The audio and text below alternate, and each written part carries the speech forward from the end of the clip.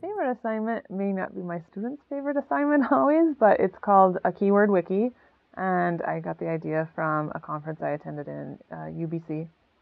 And so what it is is a wiki page. So all the students are authors to a web page, and they have to choose three keywords from the readings that week that they think were important.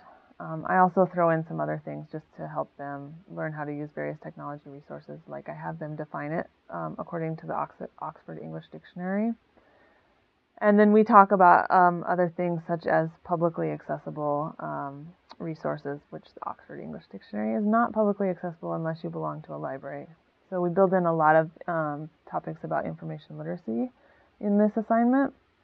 And then they have to define that word and link out to three, again, publicly accessible resources. So it can't be an article that's housed in a library where you have to log on because unless you're a student, you can't access that article.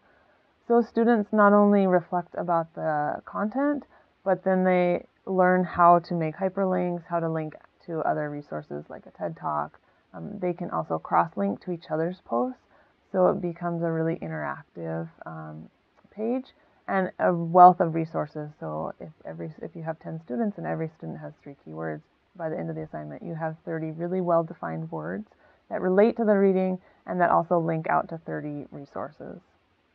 And so I've kind of covered a couple areas then. They learn the content, they learn the technology skills, they learn how to problem solve.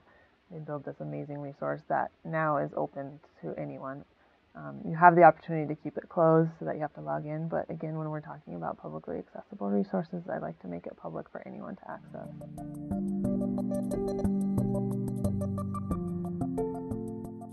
The other um, assignment I would say is an introductory video.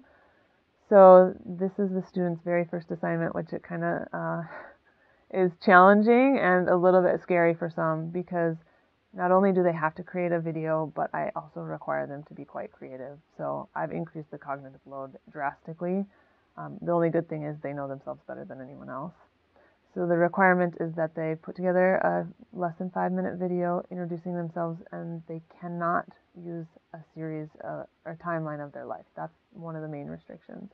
So I encourage them to think about an I am from poem or really think about who they are and how they can present themselves creatively. And I found then they also posted on YouTube or Vimeo or another hosting site and look at each other's. And I found it's been a great way to build community because people put just enough about themselves that it encourages conversation and inquiry. And so then the students begin to dialogue about who they are, where they're from, what their life experiences have been.